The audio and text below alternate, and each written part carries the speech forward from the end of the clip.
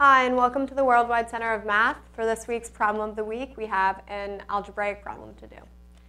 So the problem is, given that x and y are non-zero real numbers such that x plus 1 over y is equal to 10 and y plus 1 over x is equal to 5 over 12, find all possible values of x.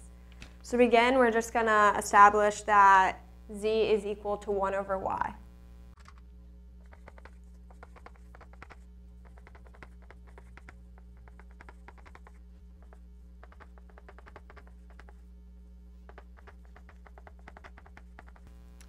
So using that z is equal to 1 over y, we can now change the equations to x plus uh, z is equal to 10, and 1 over z plus 1 over x is equal to 5 over 12. And what we can do is, using this part of the equation, 1 over z plus 1 over x, we can simplify it to create just one term right here.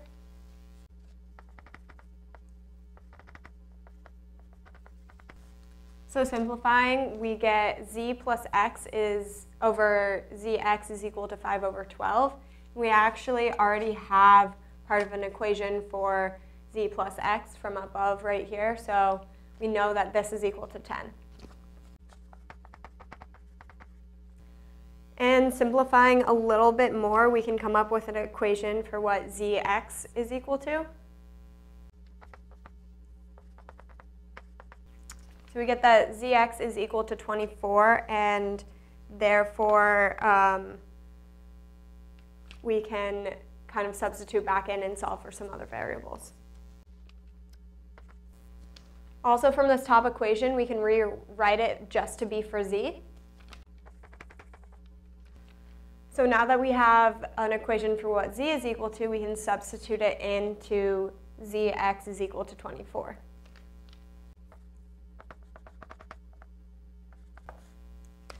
So what we get is x times 10 minus x is equal to 24. And uh, we can multiply out and begin to factor.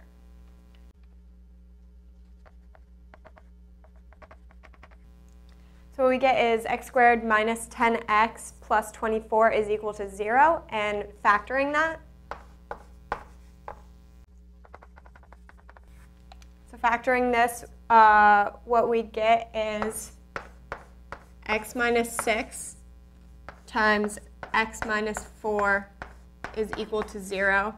So therefore, the two options for what x could be are 6 and 4.